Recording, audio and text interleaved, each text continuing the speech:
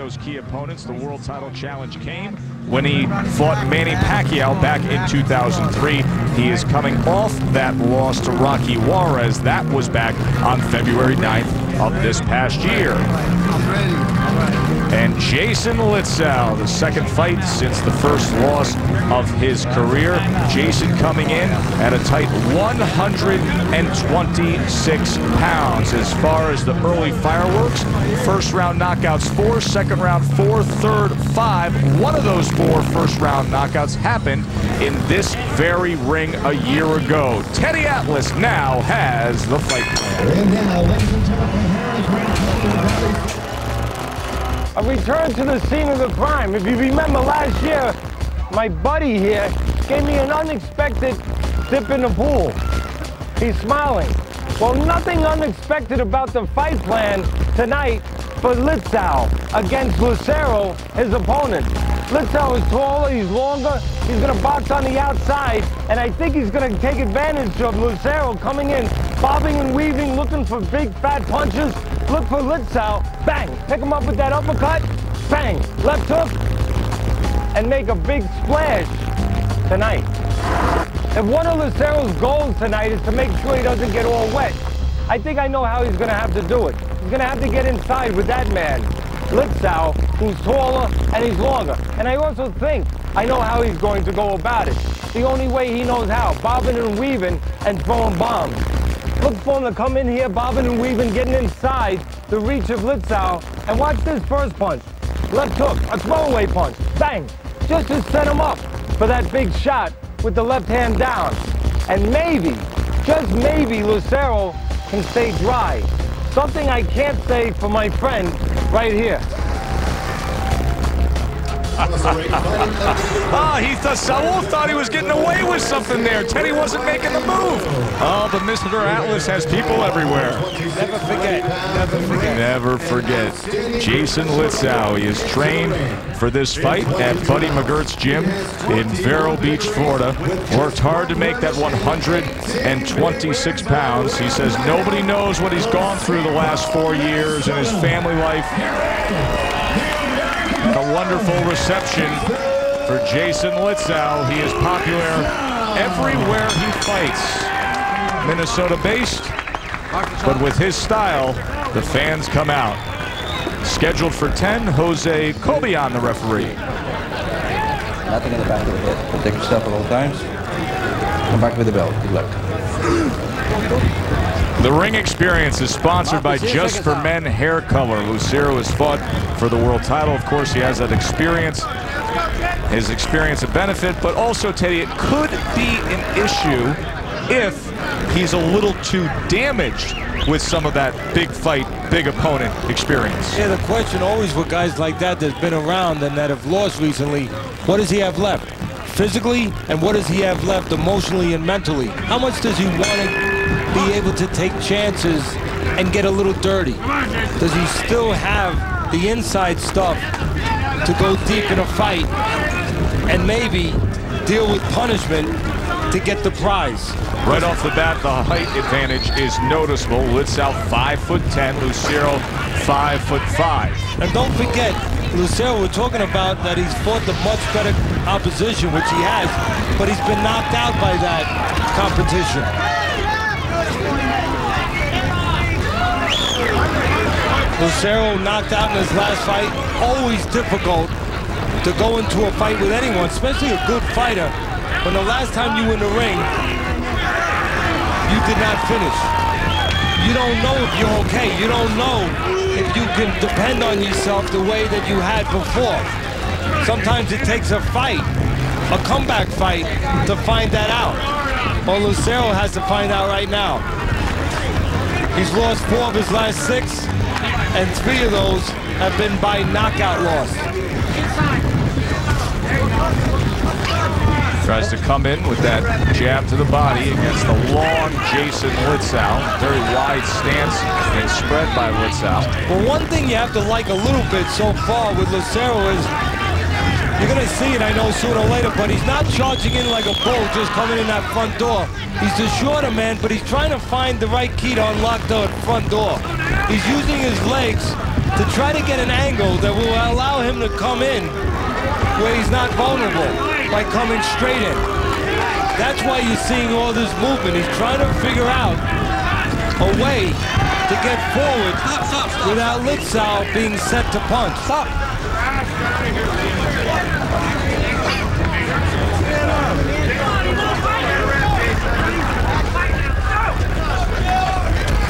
I'll say it right now, if Litzau doesn't get caught anything big and fat, if he doesn't get caught wide punches, he's gonna win.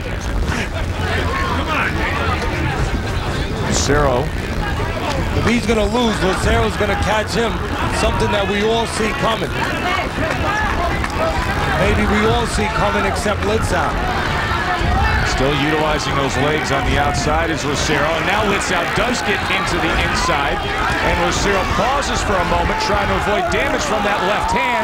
He got caught there. That is a knockdown. Joe, when you're coming off a knockout loss, you don't know how the guy's gonna behave. Right now, we're finding out something inside those caverns of the mind. Not the body, but the mind of Lucero. Stop, stop, stop. So Emmanuel Lucero was staying away from the power of Litzau. And the one moment Litzau finds it, Lucero didn't handle it well. We are here outside of San Diego. And one of the most famous native sons of this area just happens to be the Basketball Hall of Famer, Bill Walton. All the success, of course, at UCLA, the 1978 NBA MVP.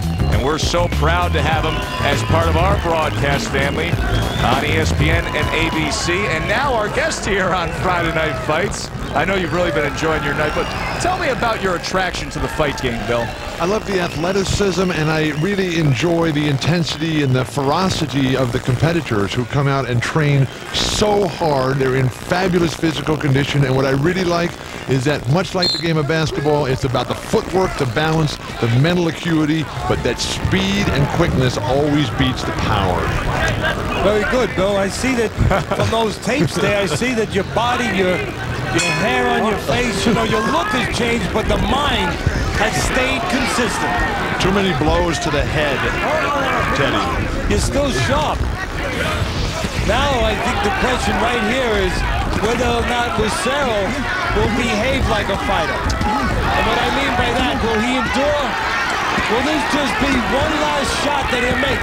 Sometimes guys that make up their mind they're not going to be around, they go out, believe it or not, like this, especially coming off a knockdown in the first round, though. They come out with everything flying, and if it works, great. If it doesn't work, you know what? They got one foot the door. so much timidity by Lucero early on. I think that Litzau has tremendous respect for him. That's why we're not seeing that wild arm flailing that we're used to from Litzau. But you know, in your business, I'm sure that you had to size guys up. Did they go to their left? Did they go to their right? You know, when you got them in the paint, were they going to really go outside or were they going to challenge you in the paint? You had to know something about your opponent. Well, there's something about Lucero. He lays his head, Bill, on his right side, you see? Just And did when- it there. And when you lay your head on the right side, if Litzau knows his opponent the way you used to know your opponents when you were playing that round ball, I think Litzau can knock out Lucero. He can place a right hand over on that side. Because when you lay your head on the right side, you are in the punching lane of right hands. Right now, a right hand from Litzau placed to the body. It has been an interesting round here as Lucero, oh, Lucero eats a left hook upstairs. Lucero came charging out after being floored at the end of that first round. Could it be one last effort? Can he sustain the offensive assault being put forth by Jason Litzau? Bill, do you like the overall style of Litzau, his presence when you see him? He's the more physically gifted boxer out here. And what he has to do is control this, but the sense of having to come back from the recent defeat that you highlighted so well. But now he's playing against, fighting against a man who appears to be stunned psychologically. Lucero does not appear confident to me. Coming off that knockout loss, Teddy detailed that. That's always a big factor. How do you look the next time out? The doubts that you have in your own head. Well, inactivity six months ago with that knockout loss. He hasn't been in the ring since Lucero. And two, go back two fights, he was off almost two years. So Lucero dealing with a lot Well, he goes down again. of difficult situations here tonight. It was that right hand Six. driving downward. A right, Right hand. The see- fight is over. Forget the right hand. The right hand put him in that position. But look right there at Lucero. That's what I was touching on, Bill. Does he want to behave like a fighter anymore? Is he prepared to go through the pains, go through those bad, shadowy places that a fighter has to go through to get to a good place? I would say we just found out that no, he wasn't prepared at this point in his career coming off that knockout loss to deal with those things. 28 years old, Teddy, and the psychological doubts starting to creep in. Lucero is, is so small and he's so close to the ground to begin with. Even a stumble almost leads to a knockdown. Well, you know, you brought up a point. You said 28 years old. You know, it's a funny thing. In boxing, and I'm sure in your business a little bit, we do not judge the age of a fighter chronologically. We judge it by the amount of punches they've taken. And Lucero has taken punches that have made him feel a little older than 28. And he couldn't get inside to get that tight punch that you described in your fight plan earlier. It looked like he's actually been pushed into the pool himself. Well, let's take a look back at how Jason Litzau finished off Emmanuel Lucero. This is the knockdown in the first round. And you could see that, again, Lucero has that habit of getting very low, getting out of position. You can get low, but you got to stay in position. He gets out of position. And when he's out of position, he has no control over the shots coming. Now, there's the right hand that we were highlighting, we were looking for. And there is the stumble that Bill talked about. And there, of course, is the victor, Mr. Litzau. Jason Litzau. Boy, this ring serves him well. Last year, a first-round knockout. This year, here, a second-round knockout. To make it official, get the particulars, we send it up to Joe Martinez. Ladies and gentlemen, the end comes 2 minutes 48 seconds of round number one for your winner by knockout victory, the American boy, Jason